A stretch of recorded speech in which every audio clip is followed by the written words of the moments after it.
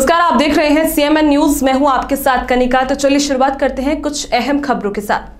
Police अधीक्षक Deoria, doctor Shripati मिश्र की पहल पर पुलिस लाइन देवरिया परिसर में स्थित पुलिस चिकित्सालय देवरिया में पुलिस कर्मियों को कोविड 19 की आरटीपीसीआर जाँच किए जाने का कार्य प्रारंभ हो चुका है, जिसके क्रम में आज सैंतालीस पुलिस कर्मियों की आरटीपीसीआर जाँच डॉक्टरों द्वारा की गई। इसके अतिरिक्त पुलिस अधीक्षक देवरिया द्वारा पुलिस चिकित्सालय में पाँच बेड की व्यवस्था भी कराई गई है, तथा पूर्व में उक्त पुलिस चिकित्सालय को एलवन चिकित्सालय बनाए जाने हेतु अनुरोध किया गया है।